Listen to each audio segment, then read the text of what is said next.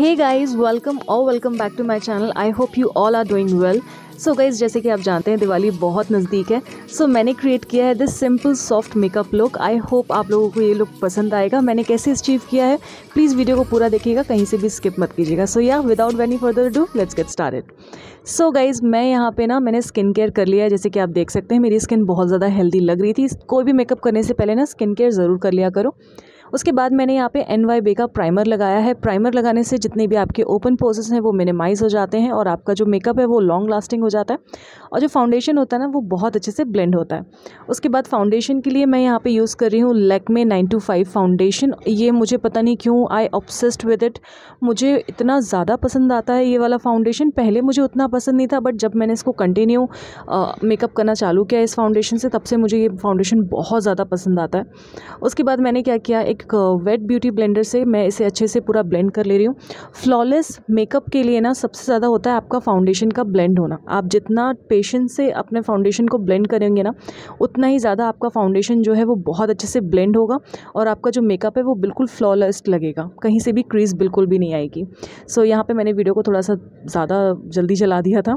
उसके बाद मैंने कंसीलर के लिए यहाँ पर यूज़ किया है स्विस ब्यूटी का कंसीलर अपने हाई पॉइंट्स पे फोकस करते हुए मैं इसे अच्छे से अप्लाई कर ले रही हूँ। As you can see eyes को डेप्थ देने के लिए आपको जो है वो अपवर्ड मोशन पे इसको इस तरीके से टैप करना है। और जो कंसीलर है, उसको उसी साइड पे आप टैप कीजिएगा। उसको आप मतलब आपको रब नहीं करना है। उसको आपको उसी जगह पे, जिस जगह पे आपने कंसीलर लगाया है ना, उसी जगह पे आपको उसको टैप करना है। उसके बाद मैंने यहाँ पे कुछ और अपने जो मेरे पॉइंट्स जिन्हें मुझे हाईलाइट करने हैं, मैंने यहाँ पे अपने चिन पे नोज़ पे और फोरहेड पे इसे अच्छे से अप्लाई कर लिया है।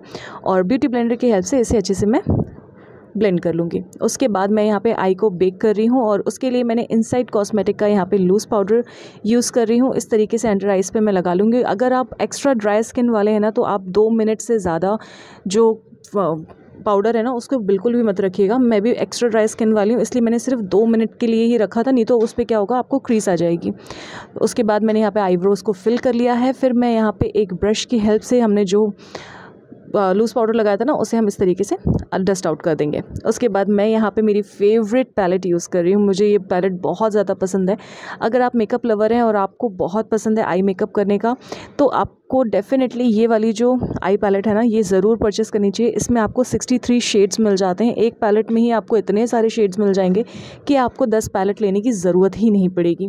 तो यहाँ पे मैंने सॉफ्ट पिंक कलर का पहले आई शेडो लिया था, उसको मैंने अच्छे से अपनी क्रीस लाइन पर ब्लेंड कर लिया और इसे मैंने तब तक ब्लेंड किया जब तक मुझे मेरा डिज़ायर कलर नहीं मिल गया। उसके बाद सॉफ्ट पिंक कलर का यहाँ पर शिमर शेड भी था तो उसी को मैं इस तरीके से अपनी पूरी आईलेट पर ना अच्छे से कवर कर ले रही हूँ। ये देखिए, उसके बाद यहाँ पे मैंने लाइनर के लिए यूज़ किया है, लैक्मे का लैक्मे का नहीं सॉरी मेबलिन का न्यूयॉर्क लाइनर और ये मुझे पसंद है पर्सनली मैं आपको हाईली सजेस्ट करूँगी, अगर आप चाहते हैं अच्छा लाइनर बजट में लाइनर चाहते हैं तो मैं आपको सजेस्ट करूँगी कि आप ये लाइनर पर जा सकते हैं। मुझे भी ये लाइनर बहुत ज़्यादा पसंद है। और इस तरीके से मैं एक नॉर्मल अपना आई लाइनर यहाँ पर अप्लाई कर ले रही हूँ। उसके बाद मैं यहाँ पर मस्कारा के लिए अप्लाई कर रही हूँ पर्पल का मस्कारा अच्छा ये वाला मस्कारा यूज़ करने से क्या होता है? आपको ना आई अलग से लगाने की ज़रूरत नहीं पड़ती। ये मतलब इसमें ना बहुत अच्छे से आपकी जो लैशेज़ है ना, वो बहुत सुंदर दिखती हैं, इसी मस्कारा से तो आपको अलग से लगाने की ज़रूरत नहीं पड़ेगी। उसके बाद मैंने यहाँ पे शुगर का लिया था पैलेट, और इसमें आपको ब्लश, हाइलाइटर और कॉन्टोर दोनों ही मिल जा, तीनों ही मिल जाता है। अगर आप बजट में चाह रहे हैं तो मैं आपको हाईली सजेस्ट करूँगी इस तरीके की पैलेट आप ज़रूर यूज़ कर सकते हैं। और इन्वेस्टमेंट अच्छा है, एक बार का इन्वेस्टमेंट है लॉन्ग लास्ट चलता है। और इस पर दो शेड आते हैं, आपको जो प्रेफर आपको जो मतलब यूज़ करना हो, आप वो शेड पे आप जा सकते हैं।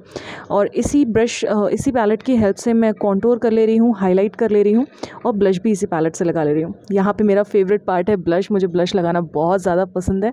तो यहाँ पर बस मैं अपनी चीक्स पर अच्छे से ब्लश लगा ले रही हूँ, थोड़ा सा अपने नोज़ पर भी लगा ले रही हूँ।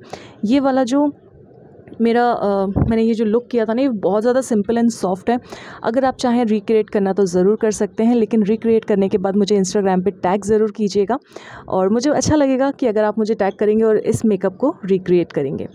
तो यहाँ पे मैं अपने हाई पॉइंट्स में अच्छे से हाइलाइटर लगा ले रही हूँ और हाइलाइटर बहुत ज़्यादा पिगमेंटेड था गाइस अब सारे मेकअप को हमें लॉक करना है तो यहाँ पे मैंने स्विस ब्यूटी का मेकअप फिक्सर लिया है। हल्का सा आँखों में ये जलन देता है, लेकिन ठीक है। उसके बाद मैंने ये ना नया शेड यूज़ किया है मेबलिन का। और गाइज़ ये शेड मुझे बहुत ज़्यादा पसंद आया है। सारे प्रोडक्ट की परचेस लिंक आपको मेरे डिस्क्रिप्शन बॉक्स में मिल जाएगी। तो अगर आप कोई भी प्रोडक्ट लेना चाहें तो आप वहाँ से जाके देख सकते हैं।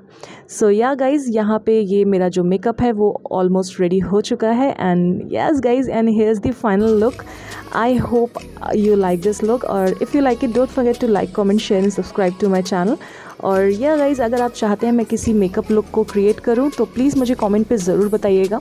और या अगर आपको ये वीडियो पसंद आए तो प्लीज़ लाइक और शेयर एंड सब्सक्राइब करना बिल्कुल भी मत भूलना। मैं मिलती हूँ मेरे नेक्स्ट वीडियो पे। Till then take care bye and happy Diwali to all